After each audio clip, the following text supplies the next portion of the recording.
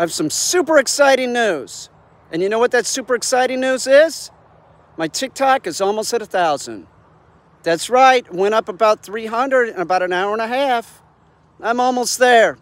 Come on over. There's going to be a lot of lot of crazy hijinks with me and my goats, dogs, me flipping shit on people. But I, I, am not going to say anything derogatory or call anybody stupid because TikTok doesn't like that, which is ridiculous. And that's my shtick. It's like you're an idiot, but I'm not going to do that over there. So remember, Peter Caine, 845. Come on over. And you know something?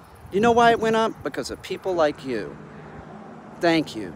You're all my buddies. You are. You're you're all on my buddy list. Thank you. Thank you very, very much.